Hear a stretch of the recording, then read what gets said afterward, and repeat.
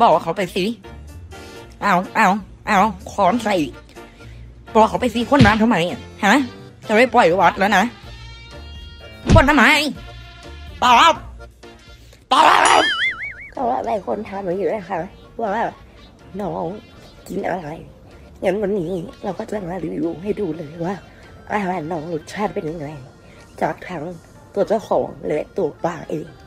น้องเป็นออมนิเวอร์นะคะเรียกว่าแรกที่สามารถกินได้ทั้งพืชแล้วก็สัตว์ น้องสามารถกินได้เป็นไล่แดงไม่ต้องสายลายทะเลค่ะ ประมาณนี้บางบางตัวอาจจะกินอาหารนิดได้ค่ะ แต่ว่าวันนี้เราจะให้น้องกินเป็นอันนี้ค่ะซีวีดรสกาลิกค่ะ เรามาลองดูกันดีกว่าอาจารย์